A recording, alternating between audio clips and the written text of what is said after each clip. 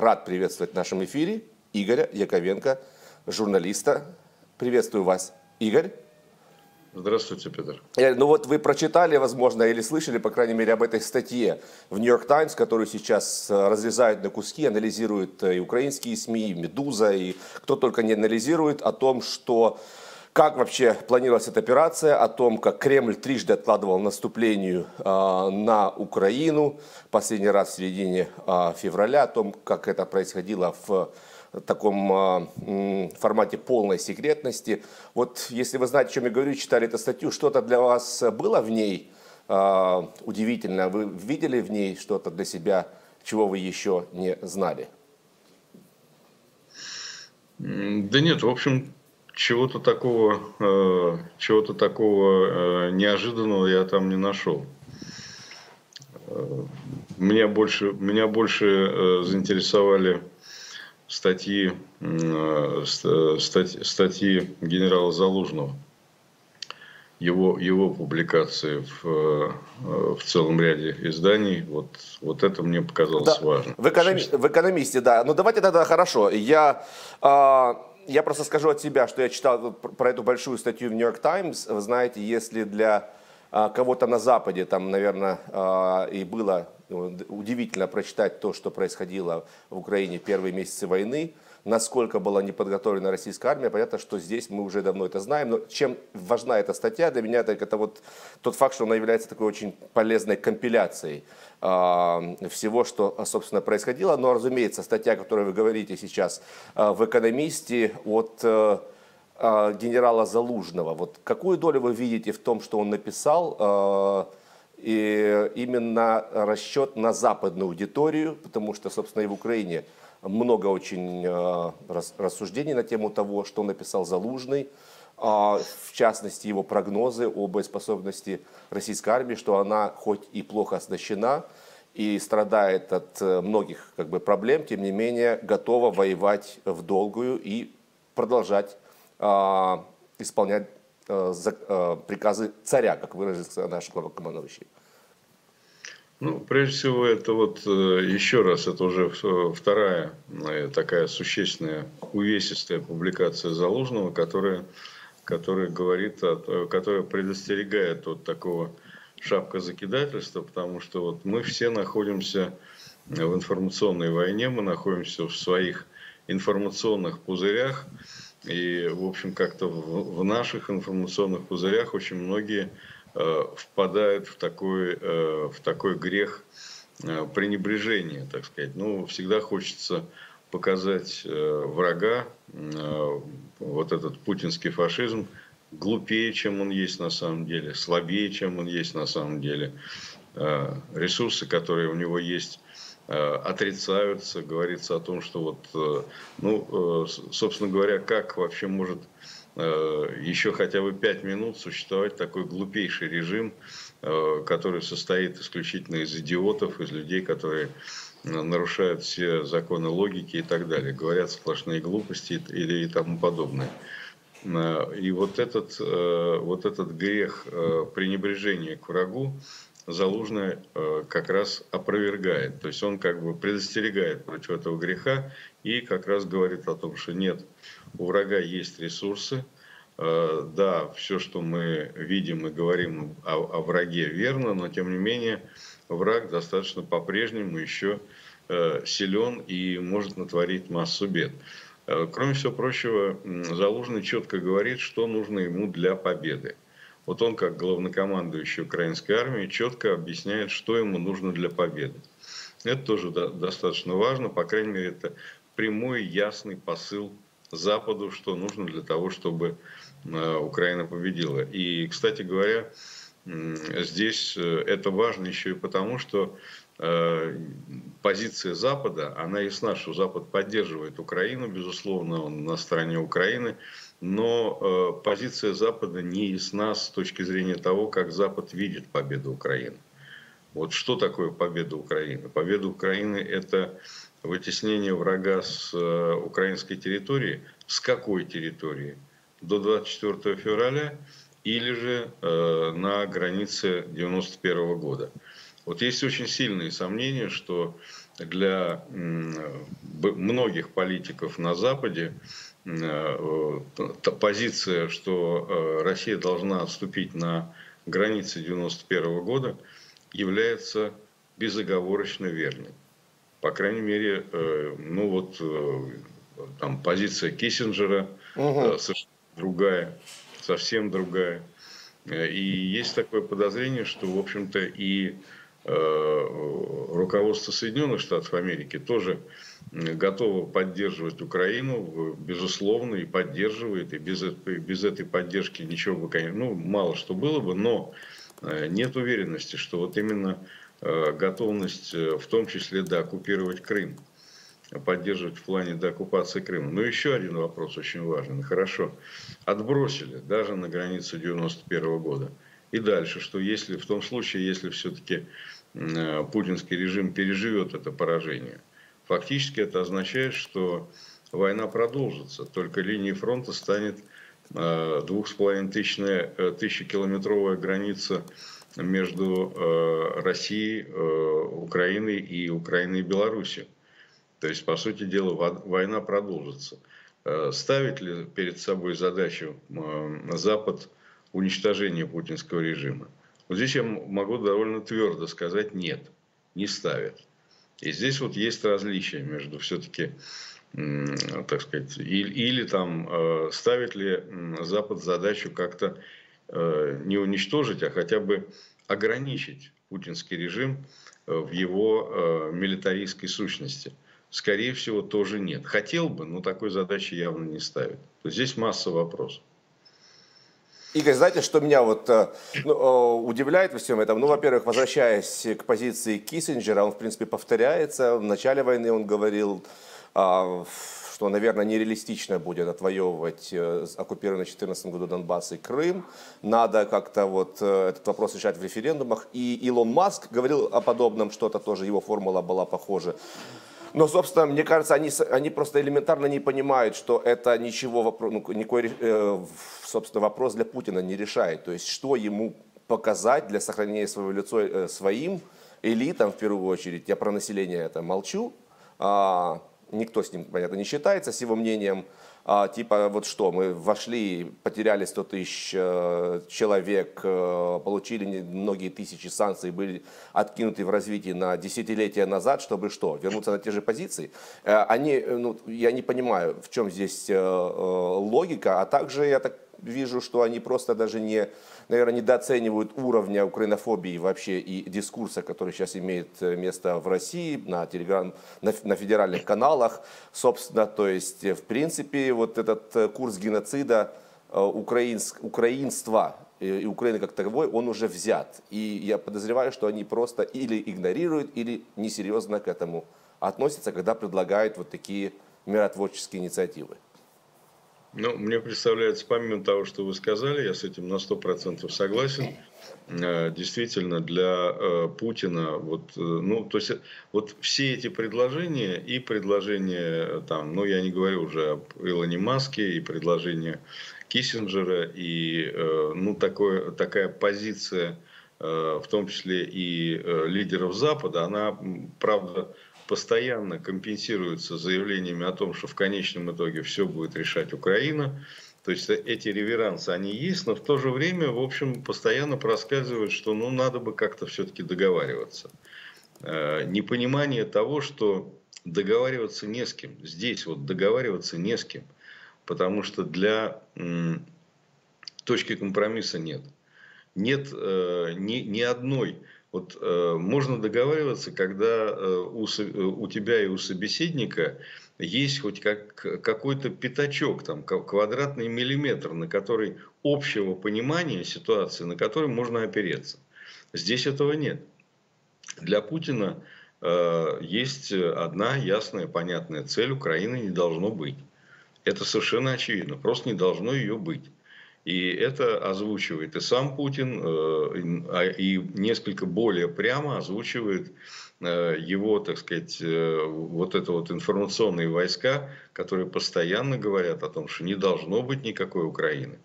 не, не, не только э, там э, Донбасс, Луганск, э, там, Херсон, ну, э, это то, что удалось захватить. Но вообще, в принципе, только до западной границы. Причем там подавляющее большинство вот этой вот информационной обслуги, они идут дальше. Они э, идут, э, говоря, говоря о том, что знамя победы должно быть возражено над, над э, Рейхстагом в Берлине. Это открыто говорится. И это не шутки, это не фигура речи, это именно так они думают. Вот, поэтому там нет точки, точ, точек э, компромисса и э, какой, какой-то э, общей площадки для того, чтобы дальше можно было разговаривать. Есть еще один такой пустяк, который совершенно упускают э, в виду эти миротворцы. Этот пустяк называется Украина. Значит, э, потому что для э, Украины совершенно невозможно прекратить войну, не отвоевав своих территорий. Просто совершенно невозможно. И это, безусловно, и позиция Залужного, это и позиция Зеленского, но что самое главное, это позиция украинского народа. То есть э, здесь э, ни, ни малейшего шанса найти какую-то, так сказать, какую-то возможность разговаривать между Э, России и Украины в том виде, в каком они сейчас находятся, эти страны, это сто процентов. Такой возможности нет. Поэтому вот эта проблема серьезная. Запад, к сожалению, этого не понимает. Ну, по крайней мере, ну, нет такого э, человека по фамилии Запад, это понятно. Но, mm. тем не менее, э, подавляющее большинство политиков на Западе, Э, включая там Макрона, Макрон, э, да. да, прежде всего Макрона, но и э, в Соединенных Штатах Америки тоже там генерал Милли, например, который говорит, что сейчас надо идти на переговоры. Ну, тоже, тоже большой вопрос. Ну, я уж не говорю, там, Папа Римский, там, и так, и так далее. Киссинджер, то есть непонимание того, что Вообще, более того, я бы сказал так, непонимание того, что 24 февраля изменило мир. Мир совершенно в другом состоянии находится. Он находится в другом агрегатном состоянии. И вот это непонимание есть э, у многих, э, что называется, вот наших братьев по либеральному, демократическому и протестному по отношению к Путину разуму. Вот я это встречаю постоянно, в том числе у своих коллег, журналистов, которые, так сказать, и э, блогеров, аналитиков, которые пытаются осмыслить то, что происходит. Мы находимся совершенно в другом состоянии мира. Э, и это состояние мира, оно определяется совсем другой Украиной, ну и, простите, совсем другой Россией. То есть э, Россия, которая была до 24 февраля, ее больше нет. Это совершенно другое, э, другое образование, другая страна. И там другой тип личности доминирует. Я не утверждаю, что все люди там, как зомби, значит, друг друга перекусали и превратились во что-то другое. Но доминирующий тип личности в России сейчас совершенно другой. Это уже человек путинский в таком кристаллическом состоянии. Ну, опять-таки, да, просто завершая эту тему, Игорь, э, ну, опять-таки, все-таки сложности, трудности перевода, как, э, знаете, э, название известного фильма, что бы там ни писала Нью-Йорк Таймс, вот опять-таки эта статья, на которой сослался, и подробные анализы российской пропаганды и тест, которые выдвигаются на федеральных каналах, все равно как бы понятно, что во всей своей красе и во всеуслышание просто западная публика не слышит того, мракобесия и украинофобии, призыва просто к уничтожению украинцев физическому уже, которые а, из каждого утюга сейчас слышны в России. Или, по крайней мере, они недооценивают а, этого, и поэтому вот этим можно объяснить их наивную веру в то, что все-таки еще какие-то э, разумные э, переговоры между, на, между нами возможны вообще. Ну, разумеется, хотел бы спросить вас по поводу этой рабочей командировки Путина, первая, если не ошибаюсь, за три года – а, в Минск а, по приглашению Лукашенко. Вот официальное собственно, цель – это интеграционное взаимодействие в рамках союзного государства. Вот в администрации Лукашенко сообщили, что будут обсуждаться вопросы безопасности, экономического взаимодействия, меры реагирования на возникающие вопросы и т.д. и т.п. Ну, абсолютно понятно ни о чем. А, такой камуфляж, ну и вот институт изучения войны с присущей вот, э, присущим им формате такого, знаете, глаголящего капитана очевидности, возможно, пишет, что все-таки эта встреча является частью усилий, что призваны создать информационные условия для нового этапа войны против Украины. Вот э, вы продолжаете настаивать о том, что все-таки Лукашенко будет продолжать петлять, или все-таки какие-то возможные уступки он Путину в этот раз такие сделает, и э, какими они могли бы быть? Ну, собственно говоря, здесь э, уступка может быть только одна. Это э, вторжение э, белорусских войск в Украину. Это единственная уступка, которую ждет Путин. Это единственное то, чего пока Путин не добился от Лукашенко. Все остальное Лукашенко Путину уже дал. Лукашенко уже, уже сдал страну Путину полностью. Страна, э, а, фактически Путин хозяйничает в Беларуси. Единственное, чего не, не, не произошло, это не произошло полноценного, полномасштабного вторжения белорусской армии на территорию Украины. Это, ну, в связи с тем, что, я думаю, такой нерешающий, небольшой, но все-таки успех российских спецслужб – это убийство Макея. Э, это важное достижение, потому что именно Макей был длительный период э, опорой Лукашенко в плане его э, вот этого вот, так сказать, многовекторности, потому что Макей с его авторитетом, с его связями в Европе, он, безусловно, обеспечивал эту многовекторность Лукашенко. И сейчас, после того, как Макея нет, он, э, Путин гораздо свободнее может опираться на... То есть Лукашенко стал уже ну, полностью путинский. То есть ему уже, так сказать, на, никаких шансов там э, на Западе кому-то понравиться нет. Э, я думаю, что вот в ходе этого визита Путин еще раз пытается как-то склонить Лукашенко в том, чтобы, ну, что называется, уже последние, последние, последние барьеры пали перед э, вот этим вот окончательным э, шагом, который Путин от него ждет. Кстати говоря, я вообще не уверен, что с точки зрения рациональности э, Путину был, имело бы смысл его в этом, Лукашенко в этом уговаривать, потому что то, что белорусская армия, во-первых, небольшая, во-вторых, не имеющая опыт войны и достаточно слабая, ну, по всем оценкам, она будет довольно быстро уничтожена украинской армией, в том случае, если э, Лукашенко все-таки ее бросит на территорию Украины. И в этом случае э, существует большой риск, что э, Путину придется, просто защищать Лукашенко в его собственной стране полностью и целиком. Потому что, в общем, поддержки у него и так немного в Беларуси.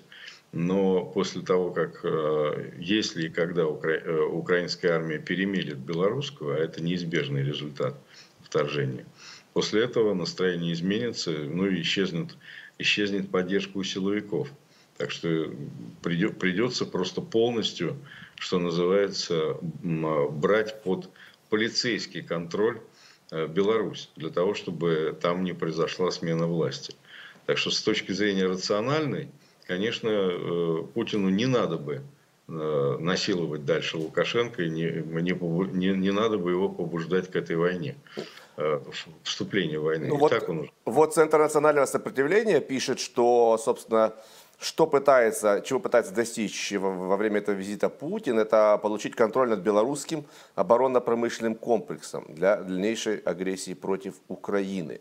Ну, то есть вот э, это возможно то, что ищет Путин. И насколько это перспективно, учитывая, что и так, э, в принципе, Путин очень, ну, изрядно, скажем так, э, э, опустошил э, э, оборонную, скажем так, э, с, с, оборонной мощности э, Беларуси весь, все время войны идет выкач, выкачка, собственно, до выкачивания а, танков, э, другой тяжелой э, бронетехники и так далее. Ну вот сейчас мы читаем, что все-таки а, Путин пытается взять под контроль а, ВПК Беларуси. Что вы про это думаете? Э, вы знаете, я просто не знаю, в какой степени Путин уже получил контроль над белорусским ВПК. Я думаю, что вот это он э, в состоянии будет из Лукашенко выбить. Потому что здесь, э, ну да, действительно, это если там что-то еще осталось, то, что не подконтрольно Путину, то да, Путин, скорее всего, постарается это сделать. И я думаю, что это, это уж точно он от Лукашенко получит. Угу. Так, хорошо. А что вы скажете, э, Игорь, по поводу в целом сейчас то, что мы видим, э, визит э, якобы Шойгу, опять-таки мы говорим якобы, потому что ничему верить нельзя, любой картинки э, вполне может допустить, что это визит этот вот, состоялся в другое время, не состоялся вообще.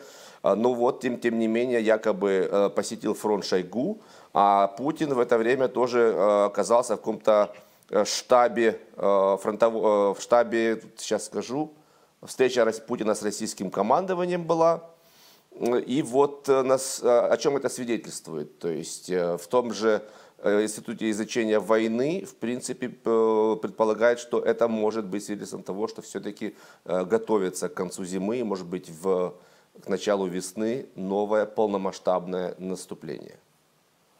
Вы знаете, это все-таки несколько разных вопросов. Mm. Один из вопросов – это вопрос факта. А был ли, вот была ли это надзорная контрольная миссия э, Шойгу на фронт. Э, вообще, судя по тому, что было за окном, когда Шойгу бдительным глазом смотрел в иллюминатор и что-то там, ну вот если, о, вот как раз да. вот этот пейзаж меня несколько смущает. Очень уж он зеленый такой, да, для, для сезона. Как-то, как-то это не декабрьский пейзаж. Я, естественно, Э, не, не очень такой. Хотя, в общем, в Украине я бывал в разные времена, и, насколько я понимаю, сейчас все-таки в Украине э, поверхность земли выглядит несколько иначе. Поэтому я думаю, что это э, не, несколько месяцев назад. Вот, то есть это, это очередные консервы, скорее всего. Но это, собственно, не имеет никакого значения, потому что Шойгу не имеет... То, что делает Шойгу, имеет очень относительное значение Э, в, в плане военном, потому что он не руководит э, боевыми действиями, он не руководит армией, и в значительной степени это просто человек, который э, очень доверенное лицо Путина, который поставлен надзирать за процессами в вооруженных силах, но никак не руководить ну, ими. И вы говорите, я знаю, что ваш, ваше мнение, Игорь, что он является, в принципе, и очень удобным козлом отпущения, потому что Шойгу как бы явля, олицетворяет собой все неудачи российской армии. Не будет Шойгу, как бы все так задумываются, а кто ж на самом-то деле виноват. Ну да, то есть Шойгу это, в общем, такая, такое, такое, так сказать, удоб, удобное существо для того, чтобы можно было свалить. Но я думаю, что Путин Шойгу не сдаст. Э, потому что для, для Путина Шойгу, кстати говоря, как и Лавров, вот это, эта парочка, э, значит, военная политика и э, дипломатия, самые чудовищные провалы в той и другой сфере, но это люди как бы очень доверенные. И я думаю, что Путин ни того, ни другого не сдаст. Хотя это, конечно, напрашивается по итогам года. Если разбираться, что произошло, то понятно, что самые чудовищные провалы именно в сфере военного ведомства и дипломатического. Вот. Но это Путин не был бы сам, самим собой, если бы э, сдал вот этих очевидных виновников. Вот, поэтому э, миссия Шойгу, я думаю, что это вообще э, ну, какой-то там, я не знаю, факт в его биографии. Непонятно, когда бывший или не бывший, это, в общем, мало интересно. Ну, тем более, что вот этот вот бдительный взгляд э, в окно, что он там контролирует, непонятно. Ну, в общем, это имитация, скажем так. Если не ерничать, э, то вот просто это какая-то вот какая-то потешная имитация. Что же касается визита Путина, ну, он должен же как-то э, демонстрировать, что он чем-то руководит. Вот он приехал в этот командный, командный пункт. Значит, э, что же касается, это вот э, вопросы, касающиеся непосредственно поведения и местоположения э, физических тел Шойгу и Путина. А, но более важная другая часть того вопроса, который вы обозначили. Это действительно ли будет какое-то наступление? Я думаю, что да. Я думаю, что да. Потому что, ну вот сейчас как-то так или иначе, хочет или не хочет Путин. Путин, конечно, не хочет подводить какие-то итоги года и э, смотреть вопрошающим взглядом в 2023 год. Ему это невыгодно, там ничего хорошего для него нет, ни в итогах 2022, э, ни тем более в перспективах 2023 года. Именно поэтому Путин отменил все ритуальные мероприятия, значит, большую пресс-конференцию итоговую, отменил э, ту, э, ну или, по крайней мере, отложил на неопределенное время обращение к федеральному собранию. Это, кстати, конституционная норма ежегодная. Здесь уже такие специально обученные юристы у нас в России э, объяснили э, населению, что э, то, что в 84-й статье Конституции написано, что Путин обращается с ежегодным посланием, это совершенно не значит, что он должен делать это каждый год. Понимаете? Вот ежегодно, это не значит, что каждый год. Вот я бы не смог так. Э, а Клишес смог. Это такой специальный человек, который объясняет абсолютно все, что угодно, что делает Путин. Ну, короче говоря, э, можно увернуться от э, вот этого подведения итогов. Но невозможно увернуться от того, что происходит реально на фронте. Я думаю, что Путин понимает, что нужно что-то менять. И, конечно, попытка э, учинить какое-то большое безобразие у Путина будет. И в этом у меня сомнений нет никаких. Другой вопрос, чем это кончится, но это отдельный вопрос, больше скорее генералу Залужному. Ну вот, э, да, э, то, что вы сказали по поводу ежегодного собрания, знаете, то есть оно по Конституции ежегодное, но может проходить там и раз в два или в три года. Вот абсолютно по Орвелу э, все происходит в стране, в которой, собственно, Орвела и изымают. Помните в начале войны, да, когда арестовали э, человечка, который э, просто бесплатно раздавал 1984 повесть Орвела. Разумеется, но если ты живешь в, это, э, в стране Орвела, ты должен сделать все, чтобы люди не узнали об этом, где ты именно живешь. Э, э, ну, а тогда, то есть, в принципе, используя принцип лезвия Акама, э, отмена присухи Путина и его встречи с своими элитами, что тоже очень такая была всегда драгоценная э, для элит э, возможность, вот, объясняется очень просто, просто страхом да, и нежеланием а, объясняться за неудачи и не а, отсутствием того, чем можно, собственно, похвастаться. Ну да, ну что-то надо. Конечно, у Путина всегда найдутся слова, с помощью которых он может объяснить. Понятно, что там э, печенеги, половцы, так сказать, э, миллионы лет э, Россию угнетали. Сейчас она воюет с НАТО. Это понятно. Это все, все весь этот набор звуков известен и очевиден. Но все равно что-то надо сказать по поводу того, что, ну, понимаете, сам факт, когда ты рассматриваешь 2022 год, э, становится понятно, что все, что он намечал, э, там, сбережение народа, да, значит, это была цель. И сейчас, вот, кстати говоря, он тоже выступал, там ставил шесть задач, и шестая задача, самое главное, это сбережение народа. Ну, ничего себе, 100 э, тысяч легло в украинский чернозем, значит, еще там миллион уехало от мобилизации. Это вот как раз он сберег таким образом народ. Ну и далее по пунктам можно просто смотреть. Значит, в конце года, 15 января прошлого года, э, Путин велел НАТО отползать, собирать монархии, отползать до границы 1997 э, года. В результате НАТО расширяется.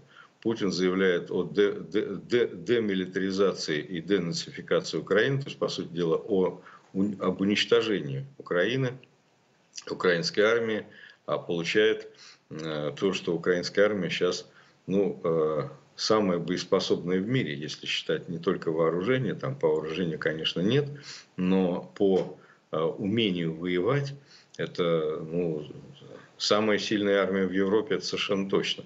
Вот, получил прямо противоположное. Собирался политически уничтожить Украину, вместо этого получаем Украину как самое сейчас концентрацию всеобщего поклонения, любви и Э, уважение. Страна, которая пользуется максимальным уважением и поддержкой во всем мире. То есть везде в Европе, в жилых домах, в квартирах висят украинские флаги.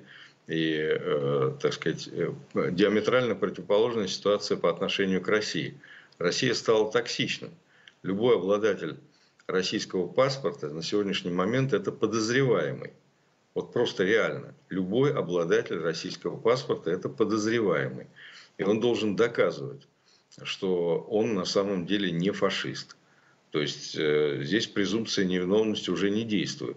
Это то, что сделал Путин э, в результате, в результате э, всего, всех своих действий. То есть он э, добился прямо противоположных результатов по отношению к абсолютно всем вопросам, которые он э, затронул. Все, к чему он прикасался, прикасался, превратилось в э, прямую противоположность.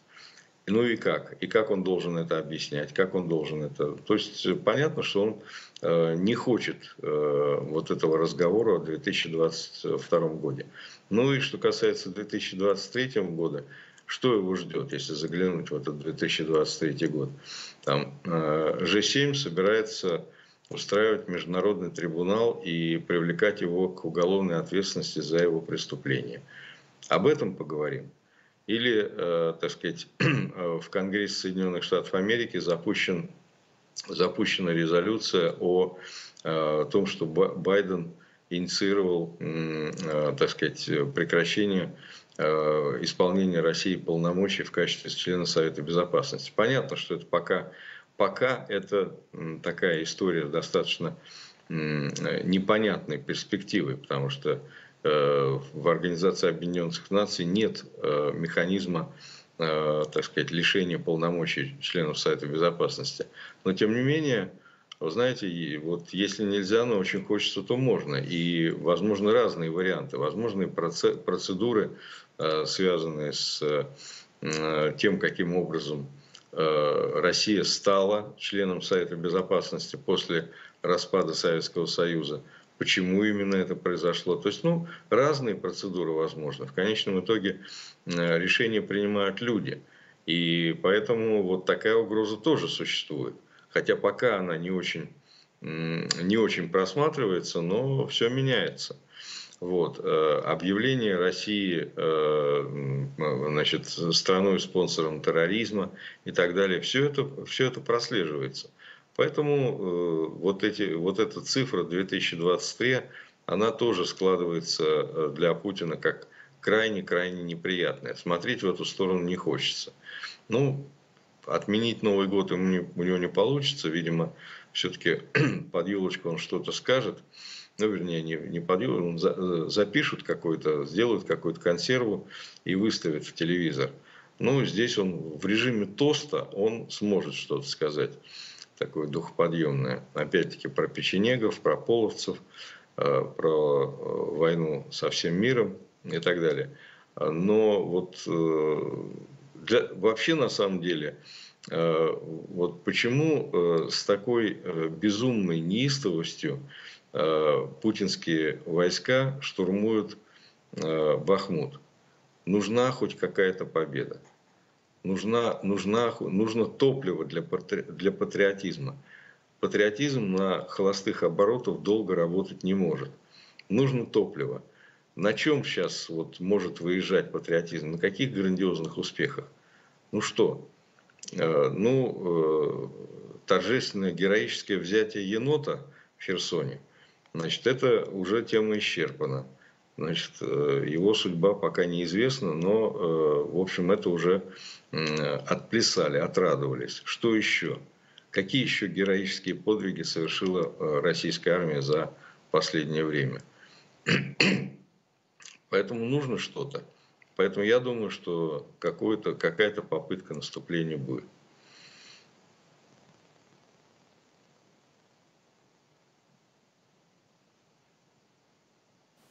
Мне кажется, пропал звук у нас, друзья.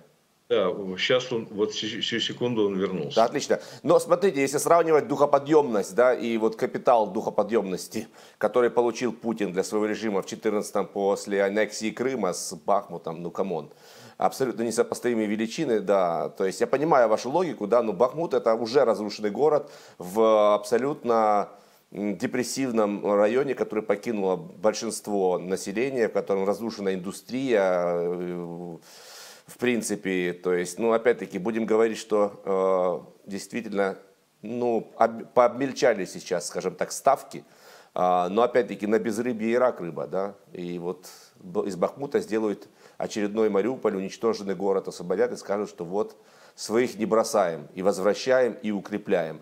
А вот что по поводу заявления, возвращаясь к этой статье в Нью-Йорк Таймс, было очень серьезное там заявление, что якобы между обеими сторонами буквально месяц назад, между американцами и США и, и, и россиянами была встреча, и россияне донесли такую вот, э, по сути, депешу от Путина, что Путин готов проглотить 300 тысяч убитыми, и вообще Россия не сдастся. Нам не важно, а, сколько бы там ни погибало. Вот э, как вы это расцениваете? Как часть такого некого ИПСО? Или Путин действительно уверен, что так и есть, и не только он готов, мы это понимаем, что он готов, но и что россияне, не пикнувшие, пойдут э, в топку украинской войны. Ну, опять-таки, что такое россияне?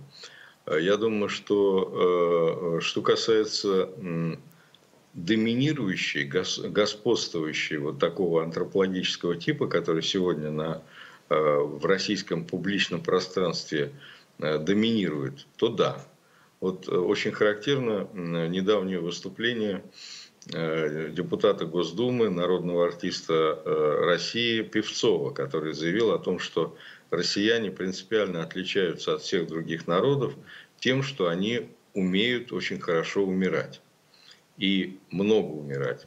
И это действительно особенность. Вот человек путинский, он э, существенно отличается от человека советского Э, очень многими вещами. Там, у него нет э, идеологии, нет, нет светлого будущего, нет там много чего. Он очень такой злобный, мстительный. Этим он отличается от человека советского в том числе. При всем там э, при всем том кошмаре, который большевики сотворили с народом.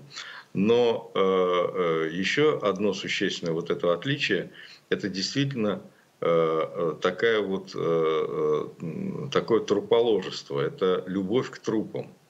Вот эта любовь к трупам, она очень сильно отличает. Потому что, вот смотрите, человек советский, он как-то не воспринимал количество трупов, положенных в ходе войны, как доблесть. И Сталин скрывал э, количество убитых во время войны, называл там цифру 7 миллионов, потом была цифра 20 миллионов. А сейчас э, чем больше, тем лучше. Там называется цифра 42 миллиона, совершенно несообразная. Этого, конечно, нет. Нет такого количества жертв. Но это количество жертв называется как признак доблести. Э, вот героизм измеряется количеством трупов.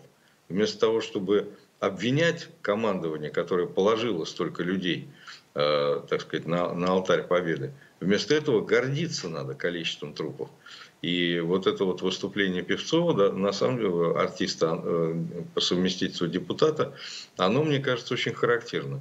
Да, действительно, э, 300 тысяч, да, что там, мало, давайте, миллион. Вот э, миллион э, убитых, это будет то, чем можно гордиться. Поэтому совершенно точно э, Россия сегодня обладает абсолютным иммунитетом э, к количеству жертв. Абсолютным иммунитетом. Россия проглотит и, и 300 тысяч, и миллион жертв, э, не вопрос, это не остановит. Остановит другое, остановит поражение. Вот миллион жертв не вопрос, пожалуйста, а вот, так сказать, деоккупация Крыма – это серьезно. Потому что вот в российской, это, кстати, не только человек путинский, не только человек советский, это э, издавна такая вот э, особенность э, такого, такой вот психологической матрицы, которая в России существовала. Она, естественно, не генетическая, она связана с особенностями институтов, но для России всегда была важна территория и не важны люди. Вот постоянно, как только возникал вопрос обменять человеческие жизни на территории, всегда выбиралась территория. Всегда. И в случае там, во всех, во всех ситуациях. И во Второй мировой войне, когда нужно, надо было закидывать трупами просто э, противника, и э, там в финской войне, когда, э, значит, вот, ну, вот зимняя война перед Второй мировой, когда, так сказать, закидывали, закидывали трупами ради того, чтобы кусок Финляндии оттяпать. То есть территория важна. Вот поражение в виде, так сказать, деоккупации какой-то территории, это может стать важным. Трупа нет, сколько угодно. Ну, собственно, это, как один живой классик сказал, это такой территориальный фетишизм. Да? Да. Э, я про вас сейчас говорю, если не ошибаюсь, вы как раз и сказали, Игорь.